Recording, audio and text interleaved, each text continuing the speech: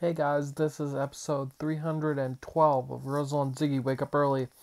Um, today was a good day for the most part. Um, I went over to Travis's for dinner, and the not so good part of the night was Travis actually noticed there was some burning smell and smoke coming from my car, and we popped my hood, and apparently the place that did my work and oil change to my car, forgot to put the oil cap back on. So there was a ton of oil everywhere, a ton of smoke. It smelled bad.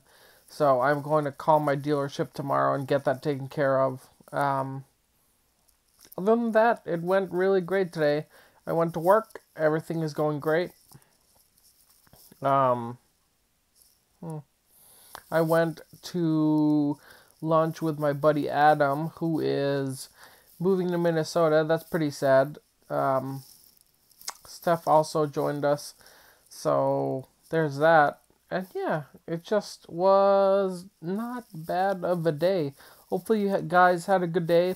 Hopefully, you guys got a lot done. It is Tuesday, so it's a little less than halfway of the work week. So, hopefully you guys are hanging in there. And then yeah thank you so much for watching. Please give this video a thumbs up. Please subscribe if you haven't yet. And as always make your morning count